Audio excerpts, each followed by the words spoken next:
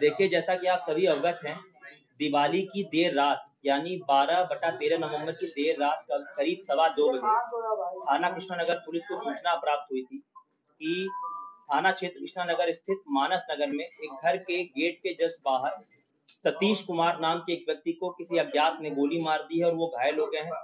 Police द्वारा तत्काल मौके मौके पर पहुंचकर एंबुलेंस की सहायता से उन्हें अस्पताल ले जाया गया, जहाँ पर उनको मृत घोषित कर दिया गया।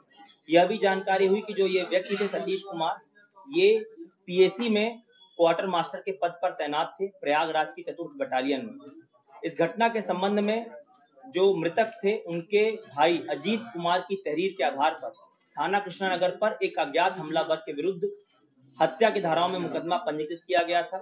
इस घटना को अत्यंत गंभीरता से लेते हुए उसमें कुल पाँच टीमों का गठन किया गया, जिसमें जोन दक्षिणी की क्राइम टीम और हमारे सीपी महोदय की भी क्राइम टीम इसमें इन्वॉल्व हुई। और इन सभी टीमों द्वारा अथक मेहनत एवं प्रयासोपरांत कुल छह दिनों तक इसमें लगातार टेक्निकल और मैनुअल साक्ष्य संकलन की कार्रवाई की गई। इस प्रकार इस पूरी घटना का खुलासा करते हुए इसमें दो अभियुक्तों को पुलिस ने गिरफ़्तार किया गया है। इसमें जो मुख्य आरोपी है उसका नाम है देवेंद्र वर्मा। वो मृतक का साला है और जो षड्यंत्र में उसकी सह अभियुक्त है वो मृतक की पत्नी है भावना वर्मा। इन दोनों को गिरफ़्तार किया गया है।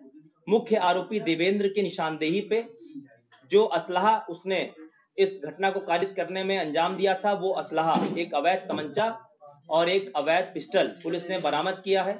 इसके अतिरिक्त घटना की रात जो कपड़े इस आरोपी ने पहने थे, वो कपड़े भी पुलिस ने इसके पास से बरामद किया है।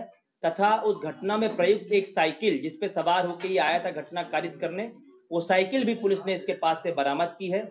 इसके अतिरिक्त एक जीपीएस ट्रैकिंग डिवाइस उसने मृतक की गाड़ी में लगाया था, जिससे उसकी लोकेशन ट्रैक करता था। उस लोकेशन से संबंधित जो जीपीएस मॉनिटरिंग का ऐप है, वो उसके मोबाइल में वो ऐप भी पुलिस ने बरामद किया है, जिसमें मृतक का गाड़ी का पूरा पाथ उसका डेटा वहाँ मौजूद है। इस प्रकार इन दोनों आरोपियों को गिरफ़्तार कर थाना कृष्णा नगर पुलिस द्वारा आवश्यक वैधानिक कार्रवाई की जा रही है।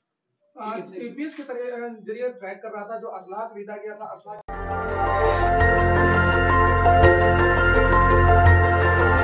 देखते रहिए डीबी भारती समाचार नज़र हर खबर पर।